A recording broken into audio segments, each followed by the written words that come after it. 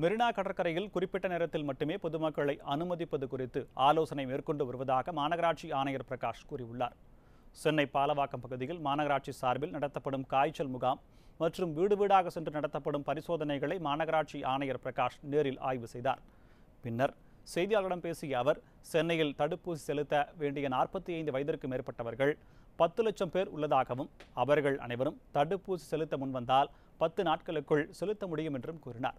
வீடுகளுக்கு காய்ச்சல் பரிசோதனை செய்ய வருபவர்களிடம் பொதுமக்கள் ஒளிவு மறைவின்றி ஒத்துழைப்பு வழங்க வேண்டும் என்று கேட்டுக்கொண்ட மாநகராட்சி ஆணையர் அடுத்த இருபது நாட்கள் நெருக்கடியான காலம் என்றார்.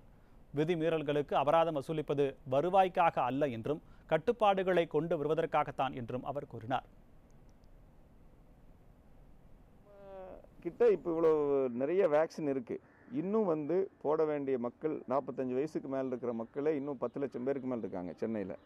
முன் வந்து எல்லாருமே ஒரு ஆர்வத்தோட முன் வந்து போட்டாங்கன்னா மொத்தமாகவே ஒரு பத்து நாளில் வந்து இந்த வேக்சினுடைய அந்த ஏஜ் குரூப் வேக்சினை வந்து முடிச்சிடலாம். நாலு வாரங்கள் ரொம்ப முக்கியம்னு சொல்லிட்டு மத்திய அரசு ஐசிஎம்ஆர் மாநில சுகாதாரத்துறை எல்லாமே ரெட் அலர்ட் கொடுத்துருக்குறாங்க. இந்த காலகட்டத்தில் இதனுடைய முக்கியத்துவத்தை உணர்ந்து ஒன்று ரெண்டே ரெண்டு பொதுமக்களுக்கு ஒரு வேண்டுகோள் சிட்டிசன்ஸ்னுடைய டியூட்டின்னு சொல்லப்படுறது என்னென்னா ஒன்று இந்த மாதிரி சர்வே வாலண்டியர்ஸ் வரையில் தயவு செய்து அவங்கக்கிட்ட வந்து ஒரு கதவை சாத்திட்டு அவங்களுடைய அவங்கள என்டர்டெயின் பண்ணாமையோ இருக்க வேண்டாம். தயவு தாராளமாக ஒன்றும் இல்லைன்னா ஒன்றும் இல்லைன்னு கூட சொல்லிடலாம். அவங்க வந்து டெஸ்ட் பண்ணிட்டு போயிடுவாங்க ஏதாவது சிம்டம்ஸ் இருந்தால் எந்த சங்கோஜம் இல்லாமல் கூச்ச நாச்சம் இல்லாமல் டைரெக்டாக சொன்னாலே போதும். எங்களுடைய பணி பாதி முடிஞ்சிடும் அடுத்தது வந்து வேக்சின் எங்கேயுமே ரொம்ப தூரம் போக வேண்டியதில்லை. கிட்டத்தட்ட ஒரு முந்நூற்றம்பது இடத்துக்கு மேலே சென்னையில் நானூறு இடத்துக்கு பக்கம் நம்ம போட்டுட்ருக்கோம்